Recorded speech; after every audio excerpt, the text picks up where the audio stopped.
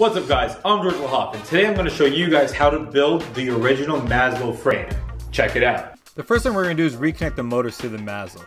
Just a reminder, when you're facing the Maslow, the cable connected to port 3 connects to the left motor and the cable connected to port 1 connects to the right. I'm then going to attach the second piece of plywood to the Maslow using two clamps.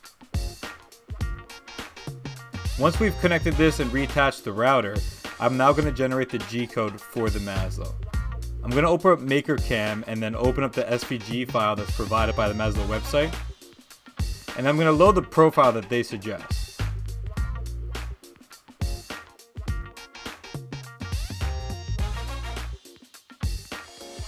From here I'm going to generate the G-code which I can then open from the ground control software.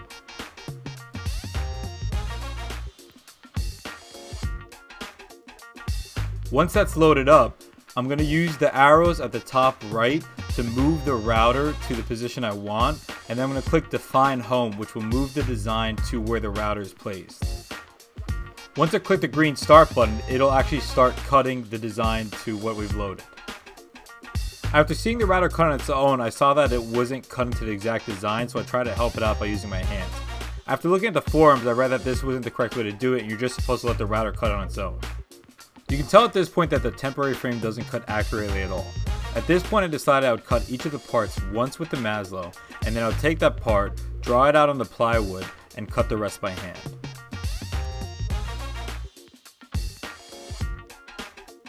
If you have the hand tools, I recommend skipping the temporary frame altogether and taking the designs and cutting out the final frame from the start. It will save you a lot of plywood and a lot of time and be a lot easier by the end of the day.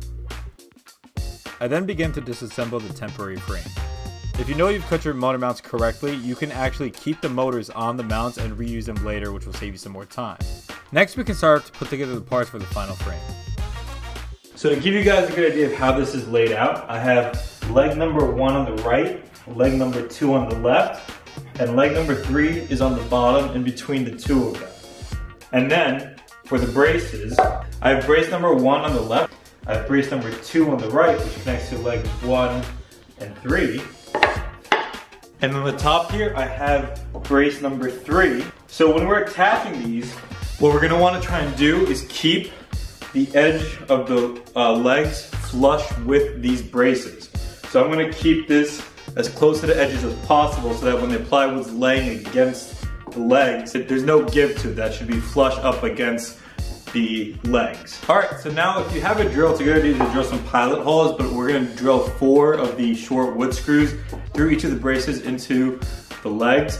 Um, trying to, again, keep the edges of the brace as flush against the legs as possible. Check it out.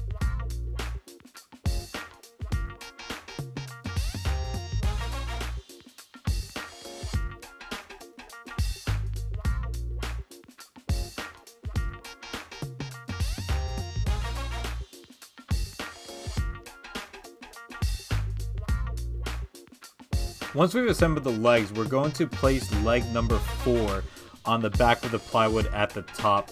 These pieces will actually hang on top of the legs.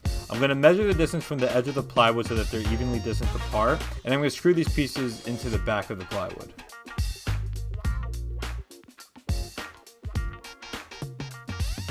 At this point I'm going to attach the arms that were cut out from the Maslow to the 2x4 arms that we had cut before. And then I'm going to attach the motor mounts to this arm.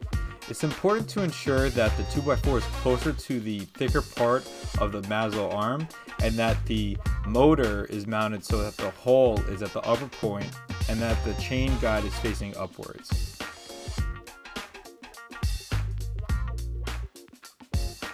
After we've assembled this, we can attach the arm to the final frame.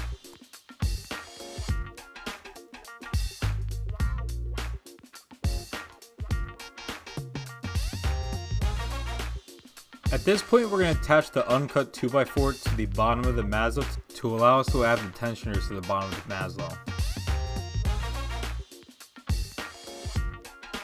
At this point, I rechecked the sled to make sure that the cut was according to the design, and I actually found that it was actually a couple inches off. So I decided to redraw the lines and cut it out myself, and then redrill the holes.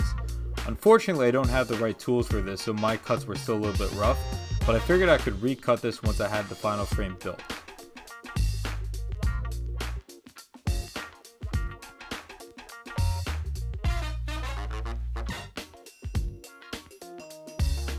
Once I have the dimensions close, I could start attaching all the parts to the sled using the provided bolts and screws.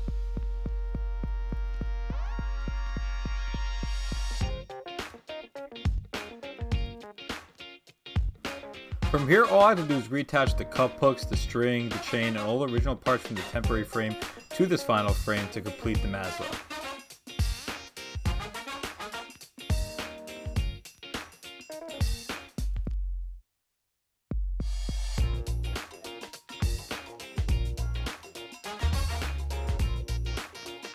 Alright guys, so those were all the steps on how to cut the Maslow frame and how to put together the original frame for the Maslow.